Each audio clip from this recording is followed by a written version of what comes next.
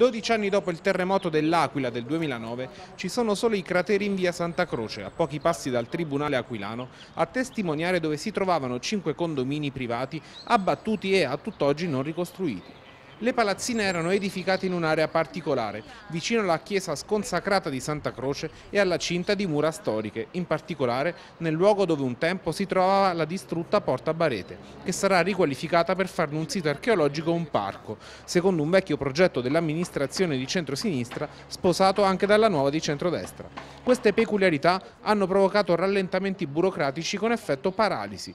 Alcuni cittadini esasperati hanno cambiato casa finanziandola grazie al meccanismo dell'alloggio equivalente, ma c'è chi non si arrende come Dina Pelliccione che accusa il comune capoluogo. Io penso che un cristiano abbia il diritto di sapere quando casa sua verrà ricostruita. Purtroppo noi non sappiamo ancora nulla eh, su pensi, non, non, sappiamo neanche come verrà casa nostra, eppure siamo i committenti, roba dell'altro mondo, da Repubblica delle Banane.